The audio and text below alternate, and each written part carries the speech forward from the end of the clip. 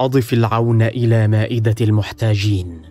وساهم في تقديم السلال الغذائية لتمنح الجوع الأمل. كن سببا في إضفاء الأمان على مائدة كل بيت. معا في جمعية رحماء نصنع فرقا في حياة من يعانون. السلال الغذائية لتمنح الأرواح القوة.